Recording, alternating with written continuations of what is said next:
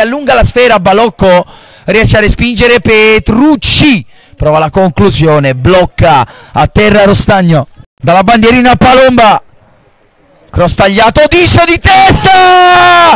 E poi il gol del Lazio, dovrebbe aver segnato ancora Lulai, esulta Daniele Lulai che probabilmente ha sporcato il colpo di testa di Odisio 24 sul cronometro 1 a 0 Lazio ancora a lottare nello stretto le due squadre sottile con l'imbucata per Kira. Kira Kira! Il salvataggio sulla linea di Cataldi! Palamides non va molto lontano Bernardinis ha raccolto il pallone propone il cross Cataldi di testa pallone buono! Per il destro di Olivero che da posizione invitante non inquadra lo specchio della porta. E allora punizione già battuta dal Piemonte Valle d'Aosta Aversano Prova a puntare Cataldi, le finte del numero 7, doppio passo, va sul mancino, mette il cross sul palo lontano, c'è tutto solo, il numero 6 traversa e poi il gol. E poi il gol ha pareggiato il Piemonte Valle d'Aosta con il tiro di Olivero.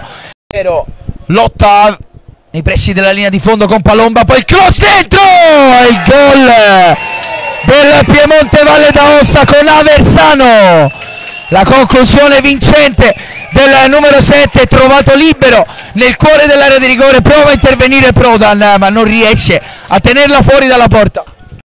Scanavino pallone dentro sul secondo palo prova ad arrivare Maiolo poi al volo greco quindi il tiro di Aversano che si stampa sul palo sfiora il 3 a 1 il Piemonte Valle d'Aosta Bagliesi dalla bandierina sulla traversa Odisio da due passi e poi anche Cataldi c'è fallo di mano calcio di rigore.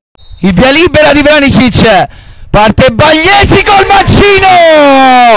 Chiude la conclusione e pareggia l'incontro 2 a 2 tra Lazio e Piemonte Valle d'Aosta. Adesso è la via libera di Vranicic parte Scanavino Prodan aveva intuito l'angolo ma non ci arriva per un soffio quel portiere laziale.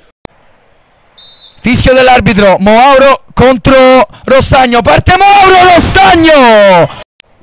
La conclusione con il destro di Maiolo che batte Prodan. Ha messo giù la sfera Leonardo Disio.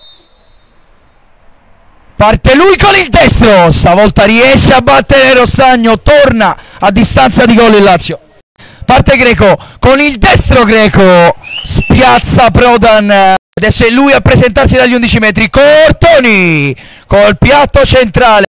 Parte Cavazza col mancino ancora alla destra di Prodan ancora spiazzato il portiere laziale che dà adesso il via libera a Lulai. La rincorsa di Daniele Lulai. Lulai col destro spiazza Rostagno sì, un destro educato, quello di Amendolaggine che ha battuto quasi tutti i piazzati. Parte Amendolaggine Prodan, ma la palla passa.